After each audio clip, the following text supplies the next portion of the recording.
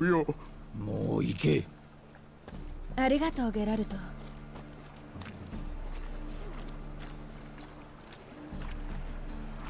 もっとマシな仕事仲間を選べ。魔術師に比べればマシな方よ。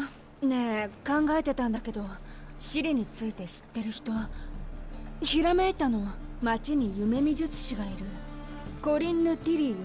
有能らしいわ夢見術師の能力を信頼したことはない。コリンヌには実績があるの。試す価値はあるわ。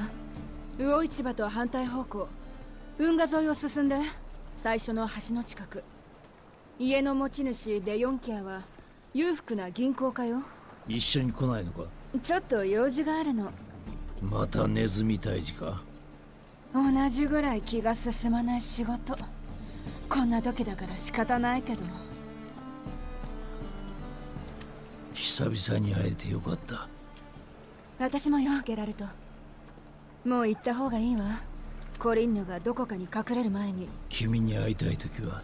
魚市場の近くビッツに住んでるわ。近くまで来たら寄ってよね。分かった。またな